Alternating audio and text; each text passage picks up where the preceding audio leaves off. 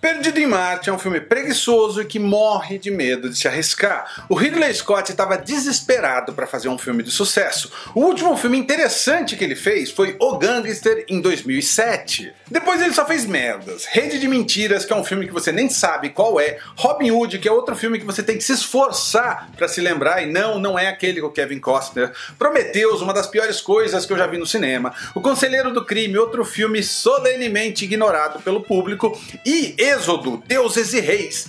Terrível. E Perdido em Marte foi meio que produzido para tentar salvar a carreira dele, que a coisa tá feia. O roteirista de Perdido em Marte é Drew Goddard, que ficou queridinho em Hollywood por causa do Segredo da Cabana, mas que escreveu o péssimo Guerra Mundial Z. Ele pelo menos tem crédito de ter sido o showrunner da primeira temporada da série O Demolidor da Netflix, apesar dele ter meio que abandonado o barco na metade, mas essa é outra história. Vamos voltar para Perdido em Marte. O filme é pensado para agradar o público, sem riscos, sem dor de cabeça, tudo redondinho, limpinho, sem sofrimento, com ar de comédia, tudo no lugar certo para não ter erro. É uma armadilha para agradar o público e funciona, mesmo eu tendo ficado entediado antes da metade do filme. O filme é mastigado, sem sabor, preguiçoso, fácil, sessão da tarde. Eu sei que a maioria das pessoas procura por sessão da tarde, mas sessão da tarde por sessão da tarde eu vou assistir Duro de Matar que eu ganho mais. Porque Perdido em Marte é basicamente uma versão do primeiro Duro de Matar no espaço, mas sem carisma.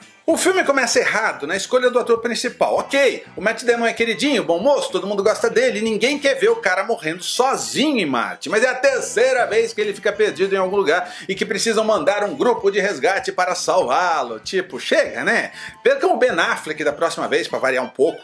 O filme usa a fórmula do personagem principal conversar olhando para os olhos do público, quebrando a quarta parede para ganhar simpatia do público e explicar que ele é, por algum milagre, um astronauta botânico, a profissão perfeita para ficar perdida em outro planeta. A trilha sonora também é manipuladora para o público reconhecer e ter certeza de que não precisa pensar. Eles colocam Starman do David Bowie ou a Will Survive da Gloria Gaynor durante algumas cenas para tratar o espectador como idiota. A preguiça do roteiro é tanta que a solução dos problemas surge do nada, uma atrás da outra. Quando os americanos explodem um foguete, tem outro na China esperando, pronto para ser lançado. Sim, eu me lembrei do filme Contato, de 1997. Em Contato, depois que o portal espacial criado para alcançar outras dimensões, que custou bilhões de dólares, explode, surge outro ali na esquina. Sim, fácil. Ó, explodiu, mas a gente tem outro aqui de reserva. E Perdido em Marte não tem a menor vergonha de repetir essa fórmula várias vezes. Tá com frio? Vai lá, desenterra o plutônio. Não sabemos como mandar a nave de volta? Peraí que um nerd com uma fórmula matemática vai surgir do nada.